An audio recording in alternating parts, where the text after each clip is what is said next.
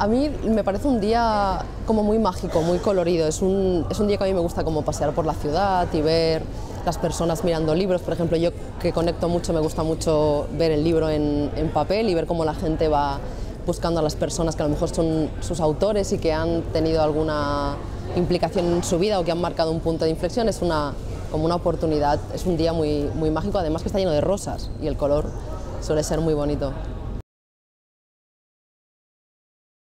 Claro, para mí es absolutamente nuevo. Claro, yo estoy acostumbrada a verlo desde fuera y ahora pues es como tener la oportunidad de estar detrás, ¿no? de poder tener a las personas que han leído los libros eh, y poder conectar con ellos desde otro lugar.